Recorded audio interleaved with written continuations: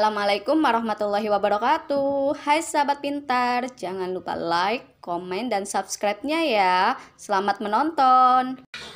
Oke teman-teman di sini saya akan uh, menjabarkan beberapa kesalahan penulisan skripsi yang dilakukan uh, oleh mahasiswa jadi untuk sebelumnya dalam penulisan skripsi atau karya ilmiah itu kan mempunyai kaidah tersendiri ya, tidak seperti kita menulis novel ataupun menulis di dalam buku diary atau tulisan yang lainnya gitu ya. Jadi untuk penulisan ilmiah biasanya untuk ciri yang pertama adalah e, kalimatnya ini menggunakan kalimat pasif. Nah, apa itu kalimat pasif. Kalimat pasif ini biasanya dicirikan dengan um, predikatnya itu berupa awalan ter atau awalan di gitu ya. Jadi bukan kalimat aktif yang dituang di di penulisan ilmiah.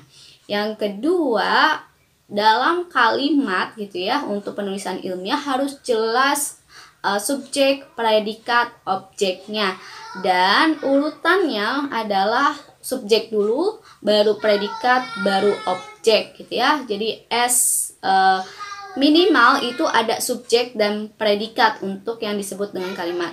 Kalaupun ada uh, objek itu lebih baik, kemudian ataupun ada keterangan itu juga lebih baik. Jadi urutan untuk penulisan itu pasti harus ada subjek, predikat, objek, keterangan atau teman-teman harus ingat istilah SPOK gitu ya.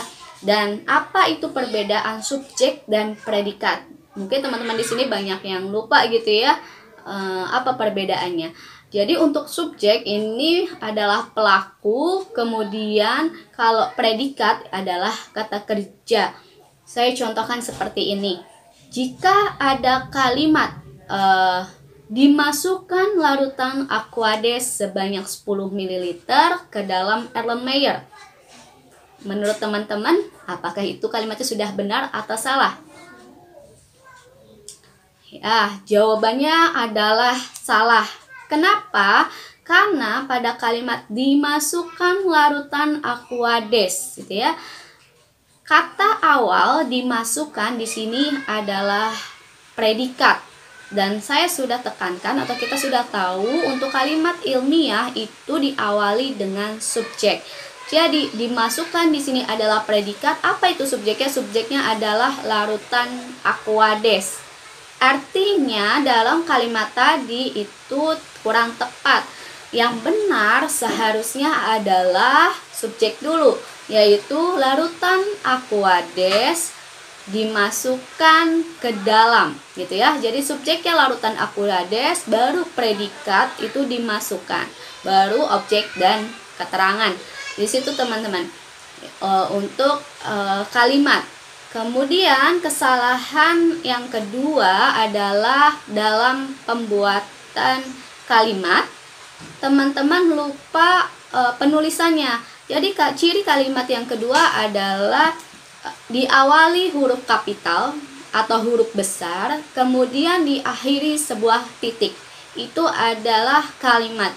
Jadi kalau teman-teman ada tulisan panjang awalnya itu kapital kemudian titiknya tulisannya sampai 30 kata baru titik gitu ya itu disebut dengan satu kalimat baik kalau memang teman-teman punya 30 kata itu bisa dijadikan 2 sampai 3 kalimat. Jadi kalian pecah eh, kalian bikin kapital titik satu kapital titik dua kapital titik tiga. Artinya ada tiga kalimat ya. Jadi Uh, saya ulangi untuk ciri kedua untuk kalimat adalah diawali huruf kapital atau huruf besar kemudian diakhiri dengan titik.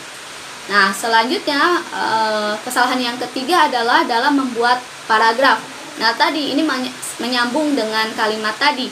Jadi kalau paragraf itu artinya kumpulan beberapa kalimat. Jadi teman-teman dalam suatu paragraf itu biasanya minimal tiga kalimat.